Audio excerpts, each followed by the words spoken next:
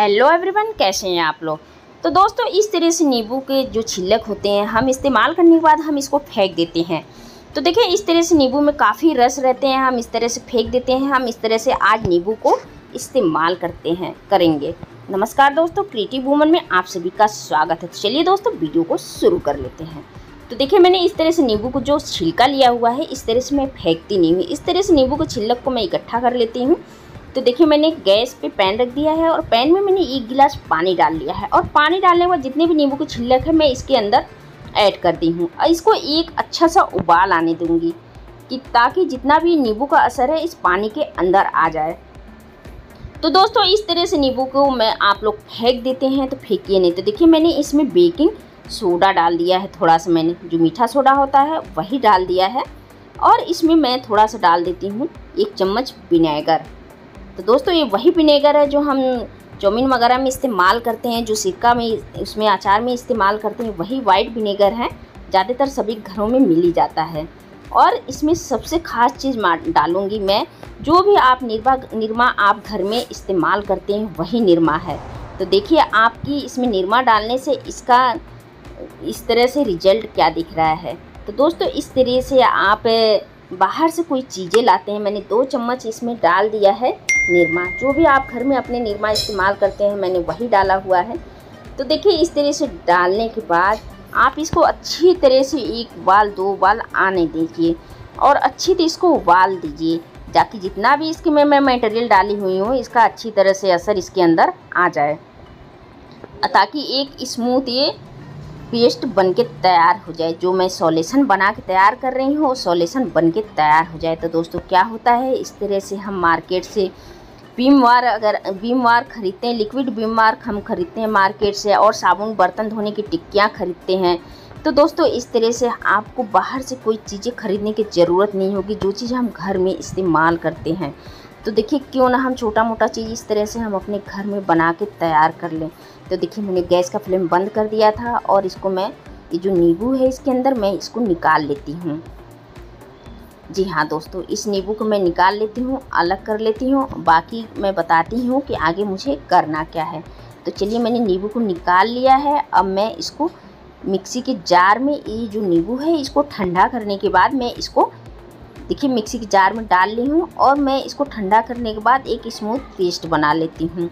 तो देखिए मैंने ठंडा करने के बाद इसको मैं एक पेस्ट बना ली हूँ और ये जो पानी पैन में है जो नींबू का ही पानी है, मैं इसमें मिक्स कर लेती हूँ। तो दोस्तों, ये हमारा एक घर में एक अच्छा सॉलेसन बन के तैयार हो चुका है। हम मार्केट से इतने महँगे महँगे सॉलेसन ले आते हैं ख़रीद के और काफ़ी पैसे भी लगाते हैं। तो देखिए, इस तरह से हमारे पैसे का भी बचत है मंथली का भी बचत है। इस तरह से हम अपने घर में ही छोटे मोटे चीज़ बना के तैयार कर लेते हैं। तो देखिए, इसी तरह से मैंने जो पेस्ट बनाया हुआ था, इस तरह से पानी में डाल दिया है। तो आपके पास कोई भी छन्नी है, बड़ी, छोटी, कोई भी छन्नी है, आप उसके हेल्प से इसको छान सकते हैं। और छान जाता है, बहुत ईजी तरीके से आप इसको छान लेंगे। तो देखिए, इसी तरह से आपको जितना भी बढ़ाना है, इस तरह से क्वान्टिटी में आप बढ़ा सकते हैं, क्योंकि ज़्यादातर नींबू तो सभी के घर में इस्तेमाल होता है। तो इस तरह से नींबू को फेंक देते हैं। नींबू को जो छिलक रहता है, फेंक देते हैं। तो दोस्तों, इस तरह से नींबू को छिलक को हम पन्नी में रख के फ्रिज में रख देती हूँ। छिलक बिल्कुल ख़राब नहीं होता नींबू का, इस तरह से मैं इसको इस्तेमाल करती हूँ। तो दोस्तों, ये मैंने पहले अपने आप में इस्तेमाल किया है। तो जो नींबू का छिलक है, मैं उसका रिज़ल्ट बाद में बताऊँगी कि मुझे करना क्या है। ये जो मैंने लिक्विड, ये मैंने बनाया हुआ है सॉल्यूशन, ये मेरा एक तरह से बीमवार बन के तैयार हो चुका है। तो दोस्तों, यकीन मानिए ये बहुत ही काम का चीज़ है और बहुत ही बढ़िया है, क्योंकि मैंने इसको अपने हाथों से बनाया है तो बहुत ही ये काम का चीज़ है। हम बाज़ार से लेने जाते हैं, इतना अच्छा रहता भी नहीं है और इतने महँगे महँगे हम चीज़ ले आते हैं ख़रीद के काफ़ी पैसे भी खर्च हो जाते हैं। तो देखिए आपके कोई भी इस तरह से बॉटल है, आप ले सकते हैं। तो देखिए मैंने इसमें छेद करा हुआ है ढक्कन में।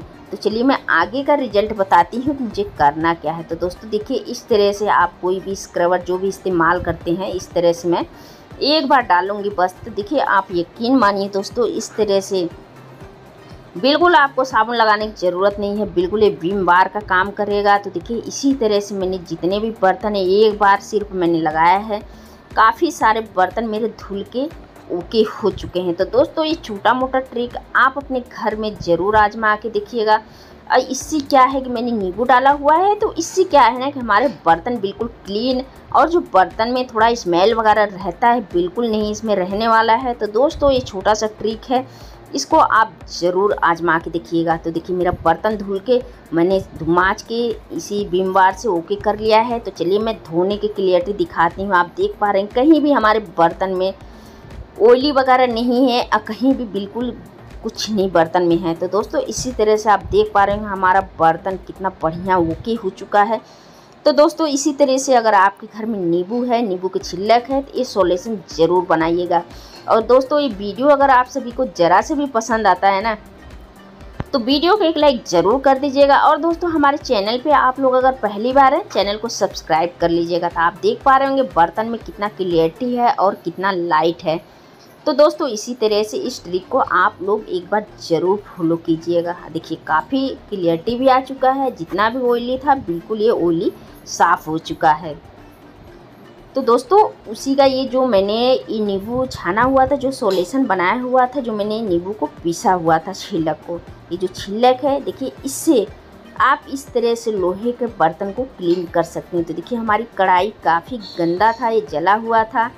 और इसको मैं काफ़ी रगड़ रगड़ के भी साफ़ करी नहीं हुआ। तो देखिए, मैं ये जो नींबू का छिलक है, मैं इसके हेल्प से मैं इसको क्लीन करूँगी। तो दोस्तों, ये यकीन मानिए, इस तरह से आप अपने लोहे के बर्तन, तवा हो गया, कढ़ाई हो गया, काफ़ी हद तक कि इसको क्लीन कर सकते हैं और चमका सकते हैं। देखिए, इस तरह से सिर्फ़ आप नींबू के छिलक से इस तरह से आप मारेंगे ना तो आपका ये जो लोहे का कढ़ाई और लोहे का तवा है बिल्कुल क्लीन हो जाएगा और इसी तरह से आप लोहे का तवा भी मार सकते हो।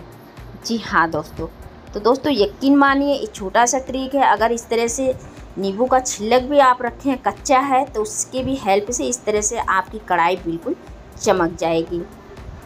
तो आप देख पा रहे होंगे, हमारी लोहे की कढ़ाई है। मैं लोहे की कढ़ाई इस्तेमाल करती हूँ। काफ़ी गंदा था तो लेकिन काफ़ी हद तक ये क्लीन हो चुका है। आपके सामने ये रिज़ल्ट है। और नहीं तो आप इसमें नींबू भी निचोड़ के इस तरह से आप अपनी कढ़ाई को अच्छी तरह से चमका सकते हैं। तो देख पा रहे होंगे, हमारी कढ़ाई काफ़ी हद तक की बिल्कुल ओके हो चुका है। जी हाँ दोस्त। तो दोस्तों, ये छोटा मोटा ट्रिक आप अपने घर में ज़रूर आजमा के देखिएगा। आपके सामने ये रिज़ल्ट है। अब मैंने अपनी कढ़ाई को काफ़ी हद तक के इस तरह से माज के और काफ़ी अच्छी तरह से क्लीन कर लिया है। तो दोस्तों, अगर आपके घर में इस तरह से लोहे की कढ़ाई है तो इस ट्रिक को आप लोग एक बार ज़रूर फॉलो कीजिएगा। तो देखिए, आप देख पा रहे होंगे, हमारी कढ़ाई बिल्कुल क्लीन हो चुकी है। तो चलिए, अब मैं अपनी कढ़ाई को धुल लेती हूँ और मैं धुलने के बाद दिखाती हूँ कि इसकी क्लियरिटी कितना बढ़िया आ चुकी है। तो देखिए दोस्तों, ज़्यादा मेहनत भी नहीं लगाया। अब मैंने ज़रा सी देर में अपनी कढ़ाई को बिल्कुल अंदर से ओके कर लिया है। तो दोस्तों, ये छोटी मोटी ट्रिक अगर आपके घर में इस तरह से लोहे की कढ़ाई है तो ये छोटा सा ट्रिक इसको आप लोग एक बार ज़रूर फॉलो कीजिएगा। जी हाँ दोस्तों। दोस्तों, अगर वीडियो अच्छा लगे तो वीडियो को लाइक कर दीजिएगा और हमारे चैनल पे पहली बार है, चैनल को सब्सक्राइब करना बिल्कुल नहीं भूलिएगा।